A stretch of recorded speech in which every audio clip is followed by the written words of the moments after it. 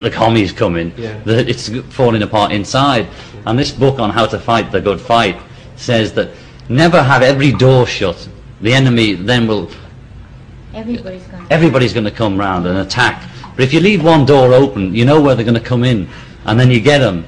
So intu- intuitively, we're doing that, and we leave a door open. They're so busy shouting about haircuts and genitals and naked and long hair that they they concentrate their ammunition there. We know where it comes from, and we get on with the job of selling and or doing whatever we're doing. Yeah, yeah. And I believe that you leave the door open, man, and that's where the door they'll come in. You know.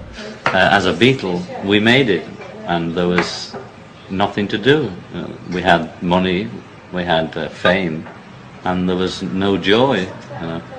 And then I met Yoko, and she was making it as an avant-garde artist, and uh, we both tried to find something we had in common, a common goal in life, because we couldn't, she couldn't rock and roll with me, and I couldn't have avant-garde with her.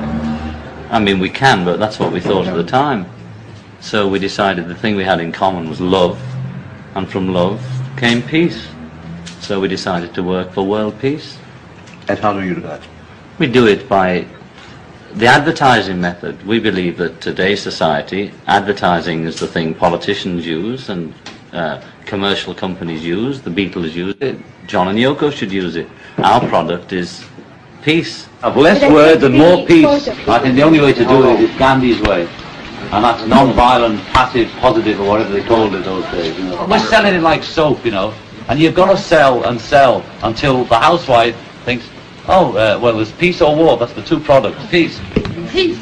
Peace. Peace. Peace. Peace, peace, peace, peace, peace, peace, peace, peace, peace, peace, peace, peace, peace. Peace in your mind, peace on earth, peace at work, peace at home, peace in the world.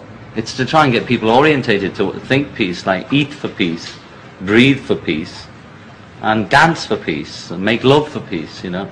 To just have the peace like a mantra going round and round in your head. War is a game that's gone too far.